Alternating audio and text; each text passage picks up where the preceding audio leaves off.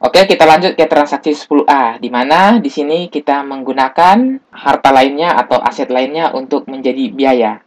Jadi pada saat deposit ini dibeli, belum menjadi biaya ya, tetapi masih menjadi aset. Nah, pada saat menggunakan baru menjadi biaya.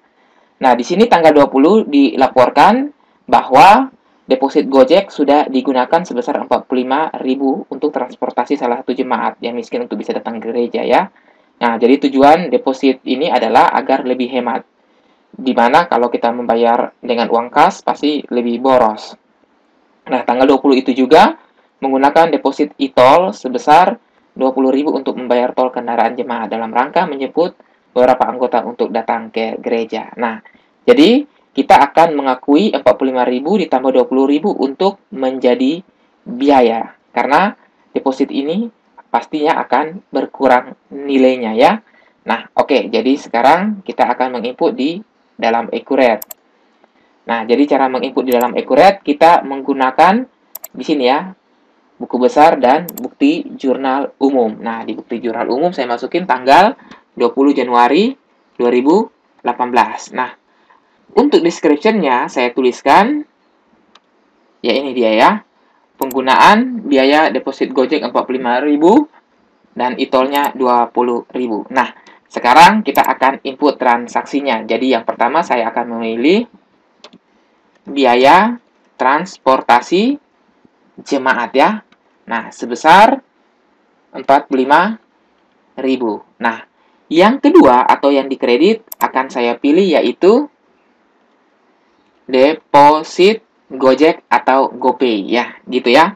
Jadi biaya bertambah di debit, aset berkurang di kredit. Nah, karena ini tipenya adalah other current asset ya, deposit GoPay ini. Nah, kita lanjutkan. Yang kedua adalah biaya transportasi juga. Oke, biaya transportasi atau mungkin kita cari tol atau BBM Nah, tidak ada ya. Oke, kita masukkan sebagai biaya transportasi jemaat sebesar 20.000. Nah, kreditnya kita pilih deposit e-tol ya.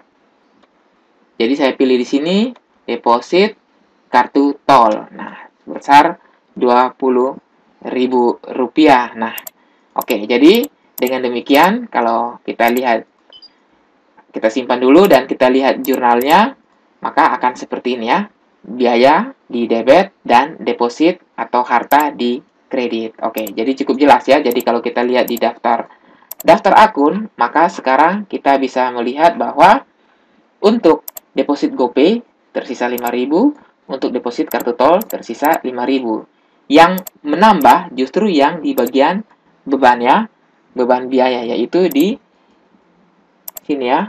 Nah, biaya transportasi jemaat. Oke, jadi sudah paham ya